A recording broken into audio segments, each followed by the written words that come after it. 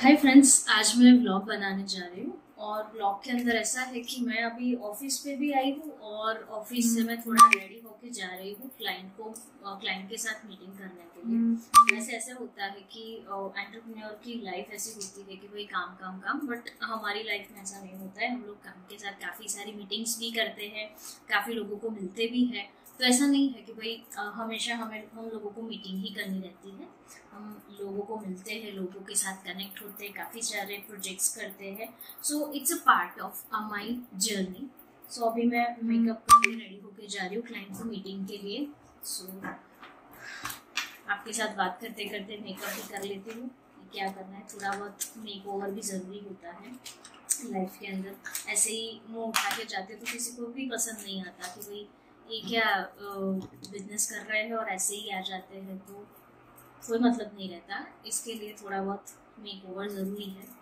So, वैसे मैं ज़्यादातर मुझे मेकअप पसंद नहीं है बट थोड़ा बहुत फाउंडेशन है या फिर ऐसे कुछ लगा के मैं निकल जाती हूँ ताकि सामने वाले को भी एक फीलिंग आए कि भाई ऐसे ही ये बोलते हैं ना कि थोड़ा जिसका फेस अच्छा होता है तो लाइक मज़ा आता है कि भाई बात करने में, काम करने में।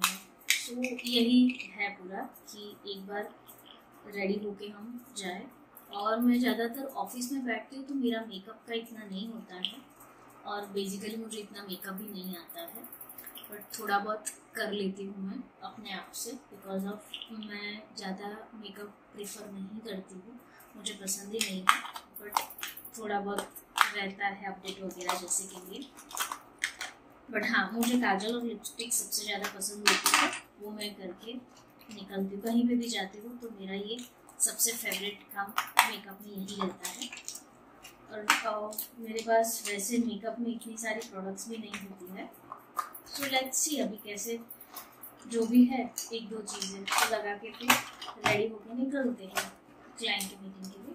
और हाँ आज मैं जहाँ पे जा रही हूँ वो आ, बहुत आ, बड़ी कंपनी बनने जा रही है शॉर्टली जिसमें हम लोग कवर करने वाले हैं इंडियन पूरे और क्या बोलते हैं कि हस्तकला बोलते हैं या फिर आर्ट जो भी इंडिया के रूट के साथ इंडियन कल्चर के साथ जो भी आर्ट जुड़ा हुआ है उसी की एक शॉर्टली एग्जीबिशन आ रही है और वो वो एग्जीबिशंस की तैयारी के लिए मैं, मेरे क्लाइंट से मिलने जा रही हूँ कि हमें एग्जीबिशंस कैसे करना है, किस तरह से हम एग्जीबिशन को एग्जीक्यूट कर सकते हैं, उसके अंदर हमारी कंपनी उनको किस तरह से हेल्प करेगी, उनको एजुकेट करना ही the term of IT segment because as you know कि हमारी आईटी कंपनी है तो हम उसी के साथ मिलके किस तरह से उनको हेल्प कर सकते हैं, वो सबसे ज़्यादा इम्पोर्टेंट है। बिकॉज़ ऑफ़ आजकल सबको पता है कि बिना आईटी के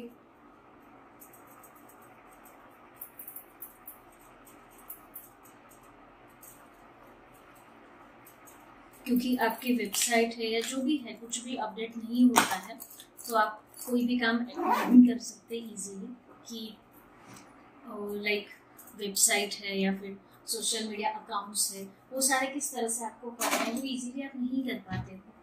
तो बस वही है कि हम लोग वही जितनी भी कंपनीज़ है, हमारे जितने भी क्लाइंट्स हैं, वो सभी को हम हेल्प करते हैं उनके अकाउंट्स को हैंडल करने के लिए, उनकी इवेंट्स को रन करने के लिए with the help of digital platform so हम बस वही सब कर रहे हैं।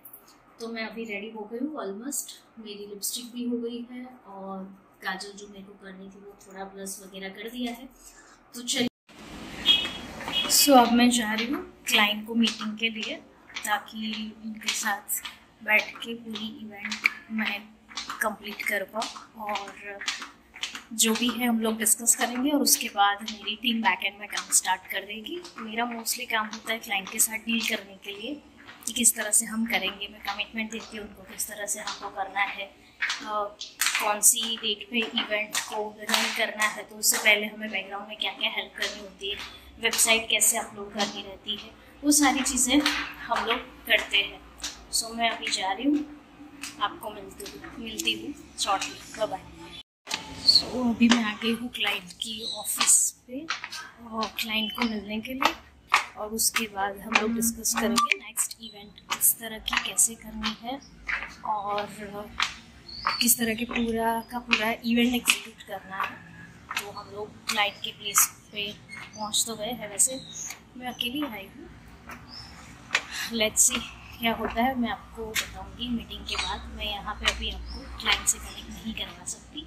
चलिए। सो मेरी जो मीटिंग थी क्लाइंट के साथ वो ख़त्म हो गई। अब मैं जा रही हूँ वापस ऑफ़िस पे और टीम के साथ डिस्कस कर लूँगी कि हमें क्या करना है।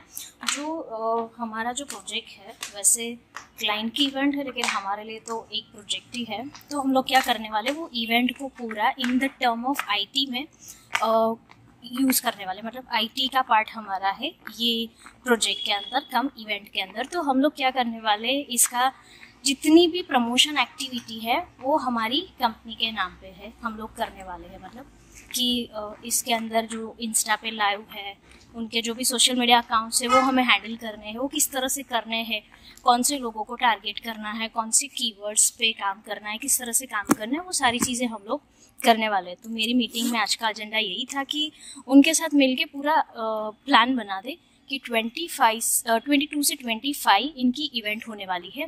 और वो इवेंट के अंदर, हमारा क्या रोल रहेगा, मेरी बैकअप बैकेंड टीम क्या करेंगी, मुझे क्या करना है, वो सारी चीज़ें हम लोग डिस्कस कर लिया आज और आज से हम लोग काम पे स्टार्ट कर रहे हैं, काम स्टार्ट कर रहे हैं और जो इवेंट है, वो इवेंट की डिटेल्स में आपको नेक्स्ट व्लॉग में आप शेयर करूँगी कि इवेंट क्या है हमारा क्लाइंट क्या है? क्लाइंट के साथ भी मैं थोड़ा कन्वर्जेशन आपके साथ कनेक्ट करूँगी, क्योंकि हम लोग क्लाइंट की प्लेस यानी इवेंट पे जाने वाले हैं। उस टाइम पे मैं लाइव भी आने वाली हूँ और वहाँ पे व्लॉग भी बनाने वाली हूँ बिकॉज़ ऑफ़ हम वहाँ, हमारे जो भी सोशली और जितने भी प्लेटफॉर्म्स है, उसके लिए वहाँ एक्टिविटीज़ करने वाले हैं। सो मैं और मेरी टीम वहाँ होने वाले हैं। सो उसी के लिए मैं वहाँ से आपके साथ व्लॉग में कनेक्ट होंगी और लाइव भी आऊँगी। तब तक हम मिलते हैं और मैं ऑफ़िस पहुँचती हूँ और बाकी के जो भी रूटीन्स है जो भी डिस्कशन कर, करना है टीम के साथ करके फिर हम लोग हमारा आगे का काम स्टार्ट करेंगे। तब तक चलिए मिलते हैं ऑफ़िस में। बाय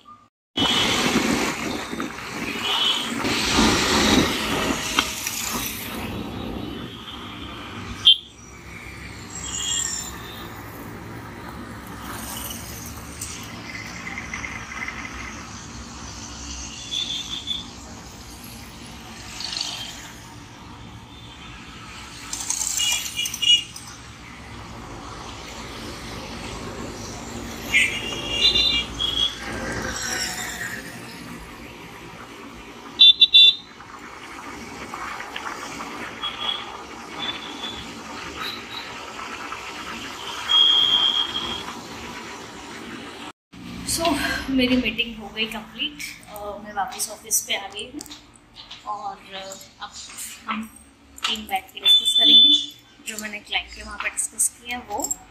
और फिर उसके बाद लग जाएँगे पूरी टीम काम पे। तो बस यही था आज के ब्लॉग में कि मैं दिन में एक या दो बार मेरी क्लाइंट मीटिंग रहती है।